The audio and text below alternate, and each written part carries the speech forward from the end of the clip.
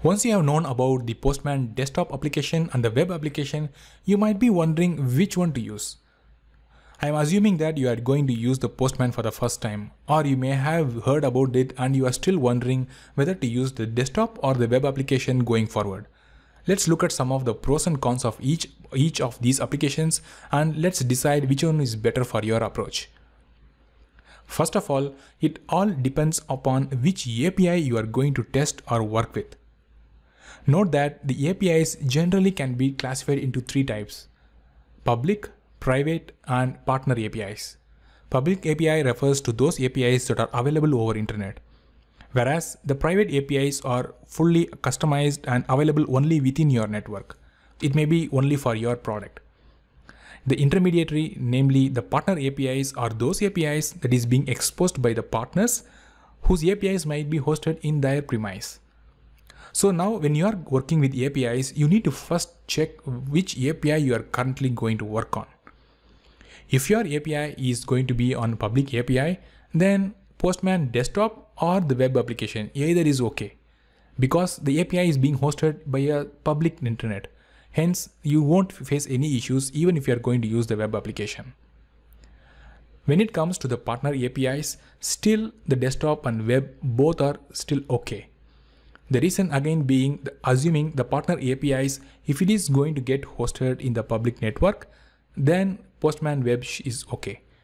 Whereas if the partner API is within a local network, such as in your site or customer premises, then Postman desktop version is the best option in this case.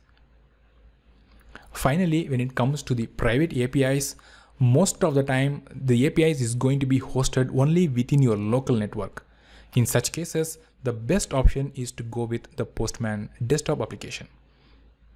As you have seen, the Postman, the desktop application is the most common one that is can be used across any of the scenarios.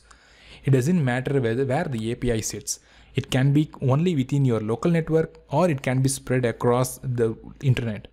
You can still use it. Whereas when it comes to the Postman web app, it is always best to use it when it is freely available or accessible through the public internet. If it is going to be available only for the local network, then you may face some challenges accessing your services. Having known these points, I strongly recommend you to use the desktop app for seamless operations. Personally, I always try to use the desktop app because it's going to give me the full capabilities of the Postman without any limitations on restrictions.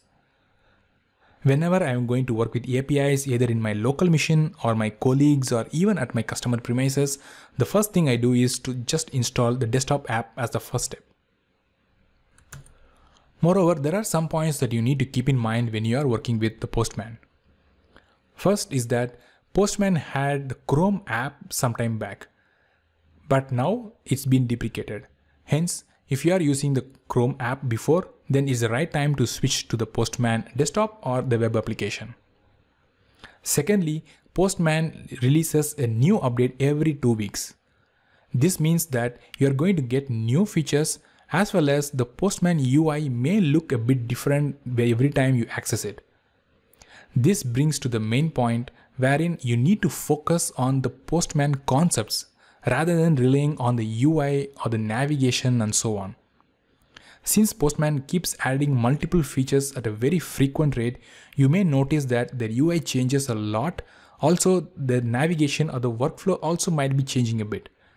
But if you focus on the core concepts of the Postman, like designing the APIs, testing the APIs, how to send the request and so on, then you should be comfortable with using the Postman in the long run.